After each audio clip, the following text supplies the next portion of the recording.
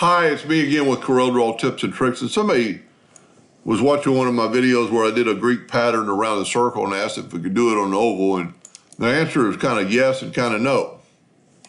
It doesn't look as good, but it can be done. And especially done very easily if you have 2019 and above Corel, because it's got a place called object to path. Now I just, I have had one of these drawn before, but I just took a pattern off the internet. I need to clean it up real quick, and I'm going to show, tell you why. Uh, we, I need to put these nodes in the corner and get rid of, get rid of the other nodes. And I'm not going to take a lot of time to um, worry about a lot of things here, but we need to get these kind of in the, and we're going to align them so it doesn't really matter. And, but I'm going to get rid of the inner nodes because I'm going to turn them all into a line. So I'm just getting rid of some of the nodes that we do not need and uh, that are going to give us trouble. And I think I did it. And now we need to go, there's one more, couple more. And I'm going to select the whole thing. I'm going to right click. I'm going to convert them to lines. Now you can see, and then there's the one that we didn't get. Now we can go here, go to object and align horizontally. Align horizontally. Align vertically. You know what? I wonder if we could do all four of these at the same time. I don't think so. I think it's going to cause us problems. Yep, because it's trying to align them all. So just grab those two, go up your line, align vertically. And in the, one of these videos, I'm going to show how to make a hotkey where you could do this it's a lot easier, but that's going to be another video. So horizontally and vertically, just because you have to keep going back and forth. But let's say for the video that that's good enough. I'm going to do one more vertically. And I guess if you did all your verticals once, and then you could always bring down an indexing line and see how good you are. So we're good enough for the video. Let's do this. Let's do this corner. It's a little bit off. Okay, we're done.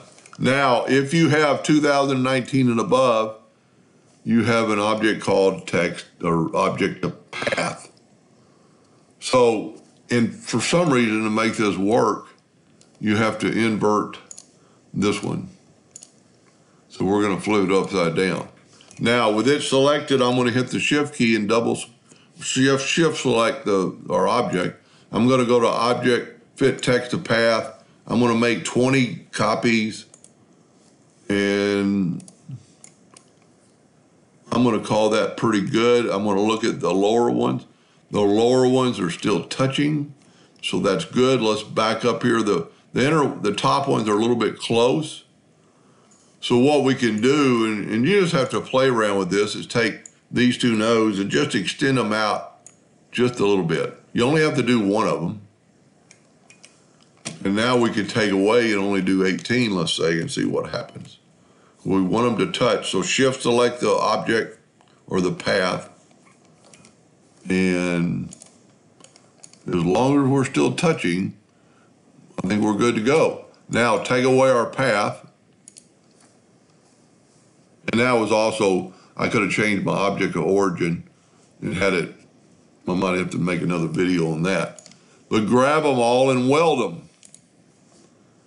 Now you might have to tweak this if you want it to look perfect. You know, the side ones look good. There's a little crack right there. But what you could do is delete that node. Matter of fact, just kind of back up and we can do all that very easily. And you're going to see it's kind of turning the line to a curve. So let's do some of the top ones.